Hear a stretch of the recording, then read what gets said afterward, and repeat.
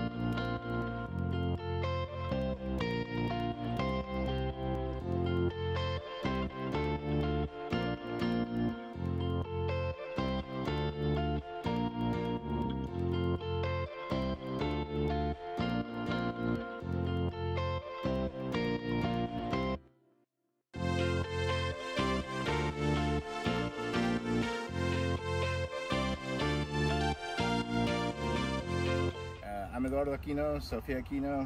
Sofia's dog, Jay. Uh, we didn't train him very well. Uh, we didn't know what to do, so we found off the leash canine.